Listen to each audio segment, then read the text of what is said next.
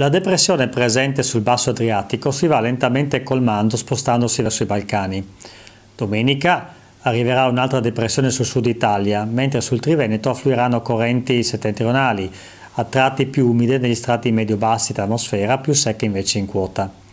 Per domani prevediamo cieli prevalenza poco nuvoloso sulla regione, con locale temporanea nuvolosità più consistente nel pomeriggio. Sulle prealpi carniche non è esclusa anche qualche locale e debole precipitazione al confine con il Veneto. Temperature minime in pianura attorno agli 0 gradi, sulla costa attorno ai 4-5 gradi.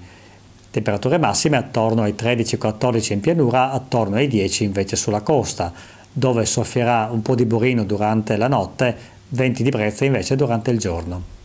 Per domenica cielo dal poco nuvoloso a variabile sulla nostra regione e temporaneamente sulle prealpi potrà esserci anche nuvolosità un po' più consistente.